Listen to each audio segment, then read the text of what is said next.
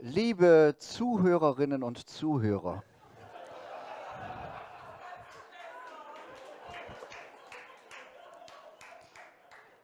den heutigen Predigttext finden wir bei Markus Kapitel 1, die Verse.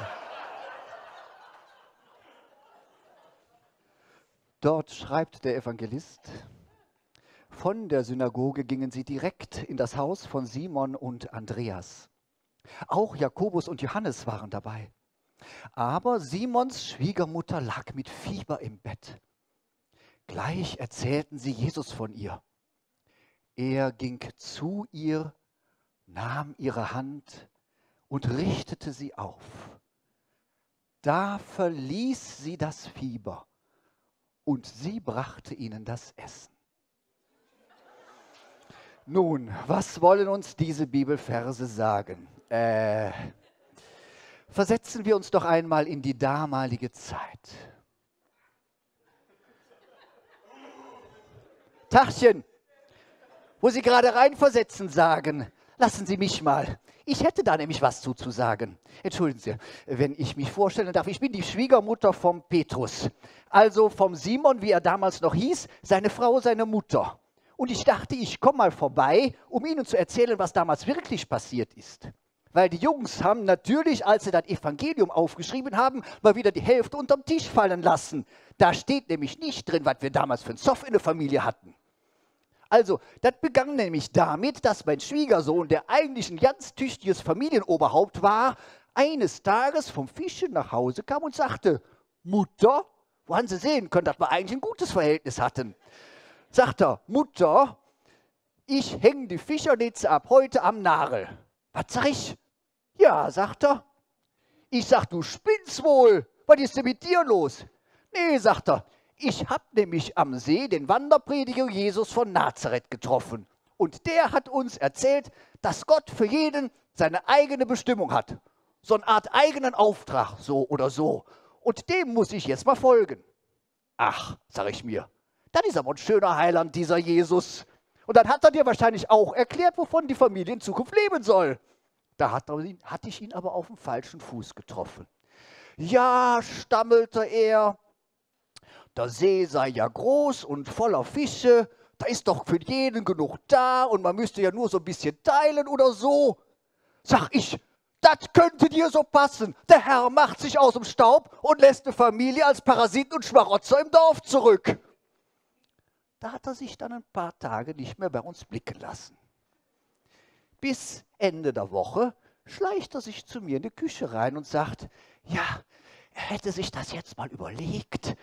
Er wolle uns seine neuen Freunde und vor allem dem Jesus mal vorstellen.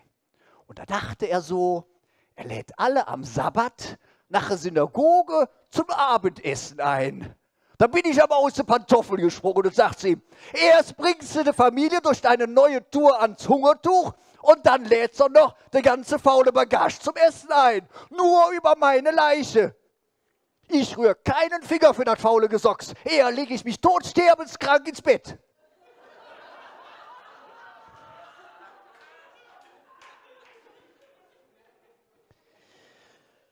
Der Sabbat kam. Und als es Mittag wurde und alles nach der Synagoge ging, dachte ich mir, so, Jetzt legst du dich mal flach.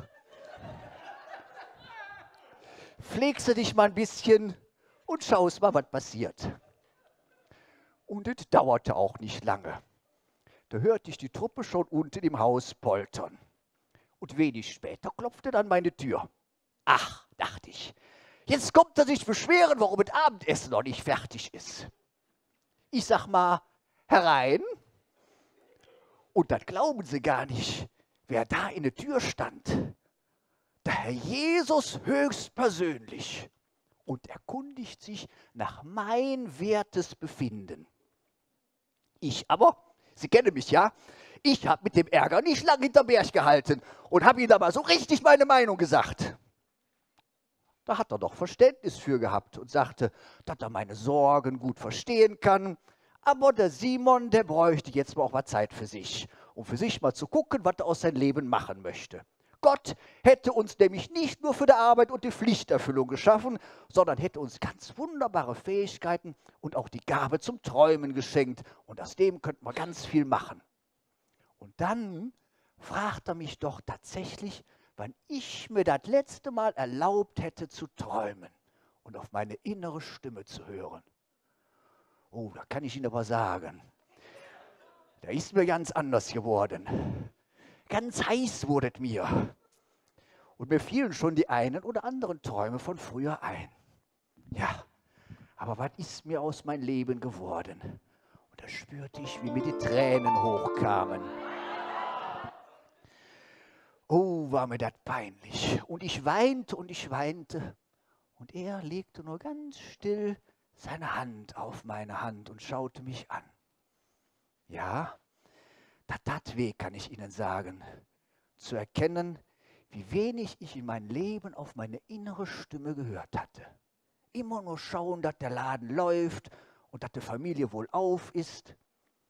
Und dann schaute er mich an und ich spürte, dass es gut war, meine Träume nicht zu vergessen. Und so kam die Kraft langsam wieder.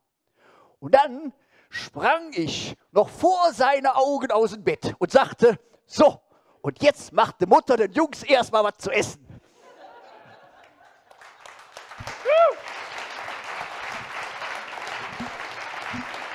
Nee, nee, nee, nee.